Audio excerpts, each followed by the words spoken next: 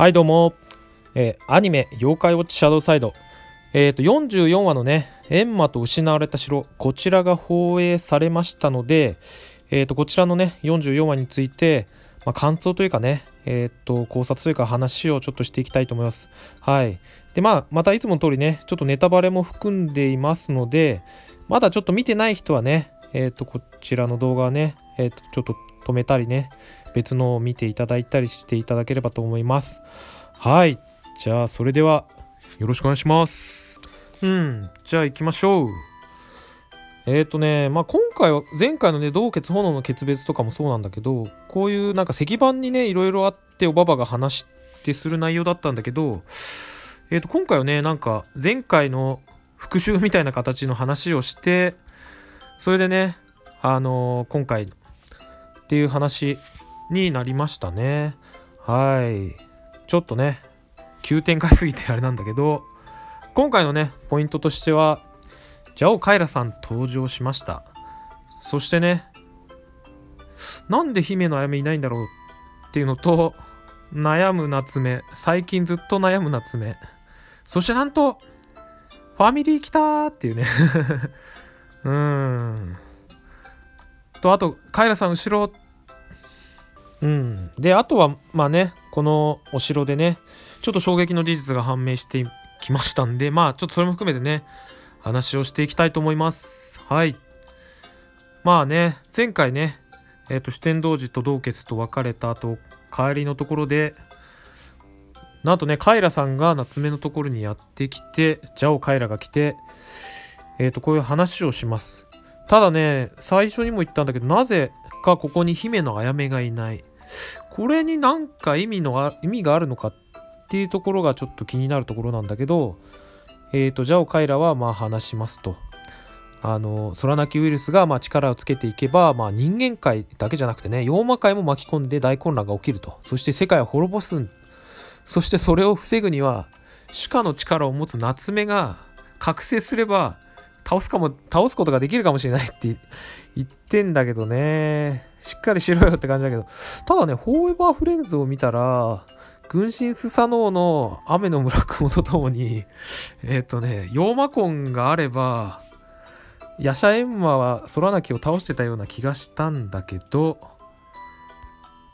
昔を知らないのかな、カイラさんは。っていう感じで、えっ、ー、と、仙台閻魔にいろいろ聞けばいいんじゃないのって思っちゃったんだけど、まあまあまあまあ。ということで、夏目は覚醒しなければって思っちゃうんだけど、うん、そこで、家のシーンでね、うん、かわいそうに中学生なのにこんなに悩む夏目ちゃん。でもそれを心配するね、圭介がいて。でも、お母さん気づいちゃうね。一応、ふみちゃん、こんなにしっかり登場したの、久しぶりかな。ただね、ふみちゃんっていうよりはね、えっ、ー、と、圭介と夏目の母っていう感じで登場してんのかな。そして、ケイタも来たーって感じなんだけど、ケイタも、圭介夏目の父って感じになってるのかなパパなのかなという感じこれアニメで4人のショットって初めてなんじゃないかなというところでね。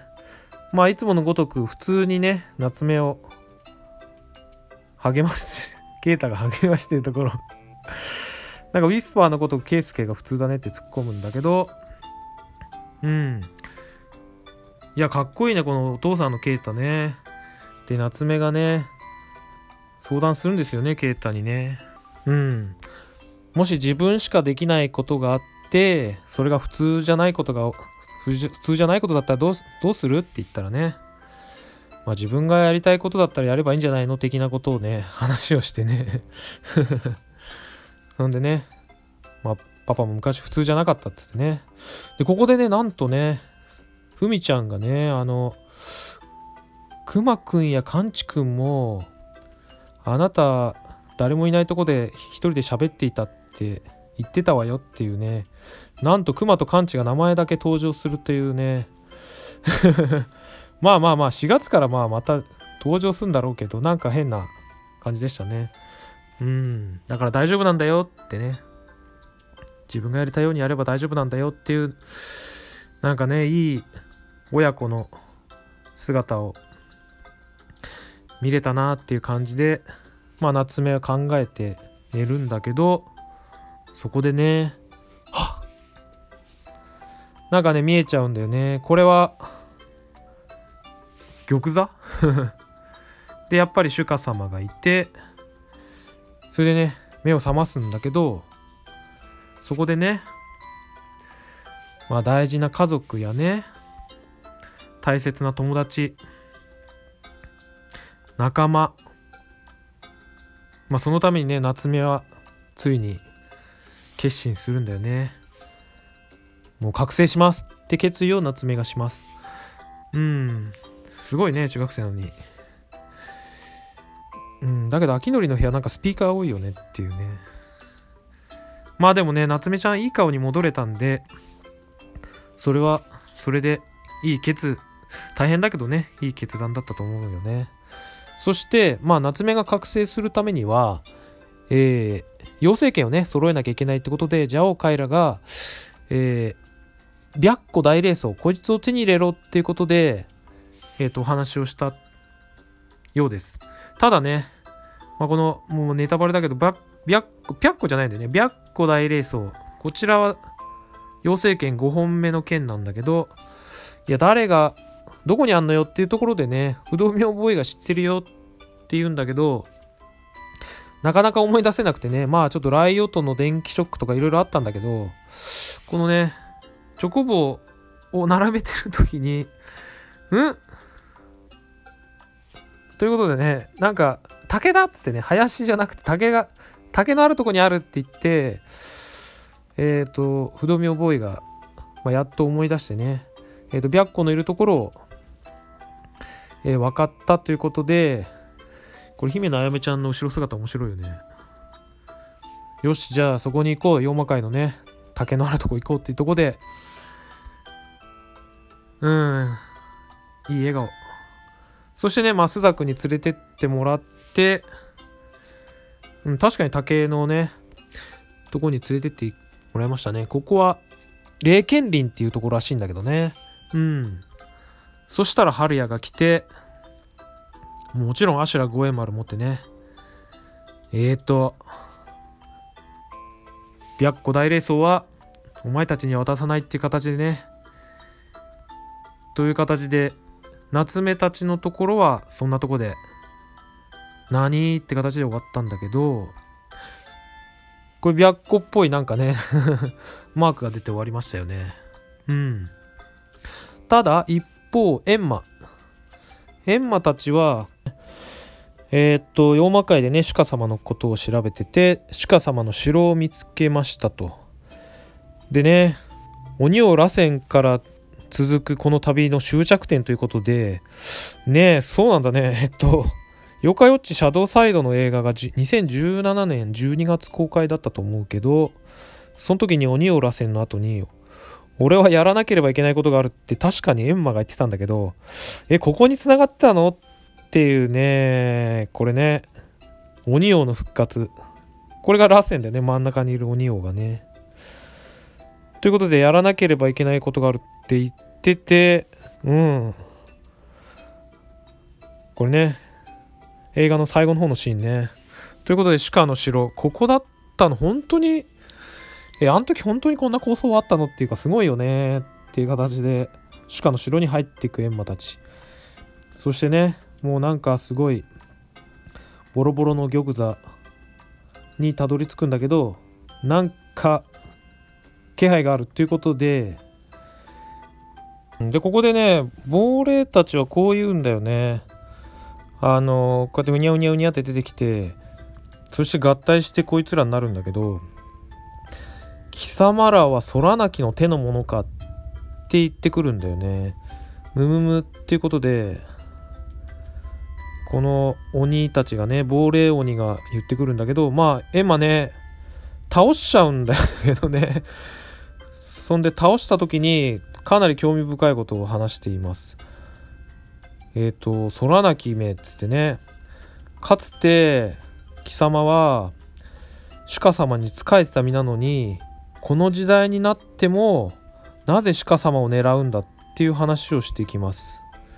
ということでなんと空なきは主家と関係があったというか元主君と部下っていう形だったみたいなことがここで判明するしました。何？っていうことで。そういうことでねまあなんか空泣きってシュカシュカシュカってすごいこだわってた現世になってもねこだわってたのかもしれないですね。これはどういうことなんですかね。まさか色恋沙汰ではないとは思うんだがねえ振られちゃって怒ったとかそういうのじゃなきゃいいんだけどどうなんだろうね。ということでまあ空泣きがね昔シュまあ鬼族だったのかな？ということがちょっと判明したっていうところでムムムということで今回は終了されました。はい。で次回予告についてはねえー、っとこれも もう急展開が止まらんからね。まあねこれねえー、白虎のね、霊剣林にやってきた夏目たちなんだけど、まあ、さっきも見たけど、春也が現れてね、まあ、自分が白虎大レースを手に入れるから、ということで林に入っていって、そんでね、えー、っと、なんとその林にね、えー、っとね、秋典たちは入れなくて、トーマしかね、えっと、入れな、入れないっていう形の場所みたいなんですよね。で、ここで久々トーマ主役登場。トーマが主役なのかな？ということで登場ですね。ということで、秋のりじゃねえや。トーマがね、今回は頑張って、白虎大レースをゲットに向けて頑張るみたいですね。うん。なんか殴ってるんだよね四天王寺が。白虎を殴ってる。白虎なのか虎なのか、白い虎を殴ってます。で、一方ね、人間界は、空泣きウイルスがね、大量に出現して、結構大ピンチに陥っててね、あの、もうなんか闇の結界みたいな感じになってると。で、やばい、助けてっていう感じになっちゃってね。もうドラゴンボールじゃないけど、トーマ早く来てみたいになりそうな展開が、ちょっと次回予想されてますね。うん、一人で白虎大レースをトーマが手に入れられるのか。そして、オグモグトグも大丈夫か？お前ら大丈夫かっていう感じでね、結構、妖魔界大ピンチになるのか。うん、まあ、一応、トーマと彼らは今、前回、前回でこのアニメの中で一回分離されたから、この子たちがね、たとえ、まあ死なないでほしいけどね、やられてもトーマが死ぬってことはないとは思うんだけど、ちょっとかなりピンチな展開が、あの予定されてるみたいですね。うん。ということで、次回、白虎の試練、トーマ対春也ということで、うん。四天童寺と、今回はね、つ、あ、今回じゃない、次か。次は、今ね、妖怪三国志でも出てる玄武が出そうですね。玄武に憑依して、白虎と戦うという意味だと、まあ、トーマ対、トーマ対春樹やってあるけど、まあ、玄武対アシュラになるのか、玄武対白虎になるのか分かんないけどね。ということで、玄武が登場するようですよね、次回ね。はい。白虎の試練、東野対春馬。は、春馬じゃない、春や、ごめん。